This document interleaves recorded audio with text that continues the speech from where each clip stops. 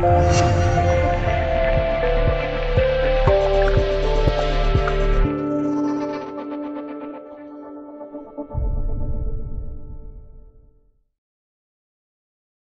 齐达内和 C 罗相继离开银河战舰后，哈梅斯·罗德里戈斯就非常期待能够重返伯纳乌。尽管皇马主席弗洛伦蒂诺也非常希望哥伦比亚中场能够回归，但是德甲班霸拜仁始终不愿意放走 J 罗。老佛爷在合同面前也无能为力。据西班牙媒体《足球先生》报道，J 罗透露，如今在拜仁队中有一名球员非常接近加盟银河战舰。这名球员似乎与皇马主席弗洛伦蒂诺达成协议，最晚会在明年一月份的冬季转会窗口开启时前往伯纳乌。众所周知，拜仁锋霸莱万多夫斯基一直有着一个为银河战舰效力的梦想。今年夏天，波兰前锋已经要求经纪人极力促成皇马和拜仁的谈判。然而，皇马这一次非常接近签下的这名拜仁球员。并不是莱万多夫斯基，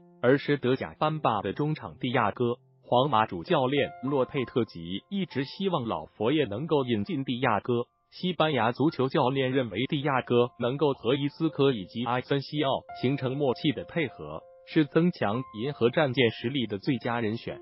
在将科瓦契奇租借至切尔西后，皇马主席弗洛伦蒂诺似乎就同意了洛佩特吉引进蒂亚戈的要求。对于迪亚哥而言，西班牙中场一心想要重返西甲联赛，在无法加盟巴萨的情况下，迪亚哥非常期待能够再次在主教练洛佩特吉的麾下效力。因此，西班牙中场也期待能够加盟皇马。最重要的是，德甲班霸拜仁并不介意在今年夏天放走蒂亚戈。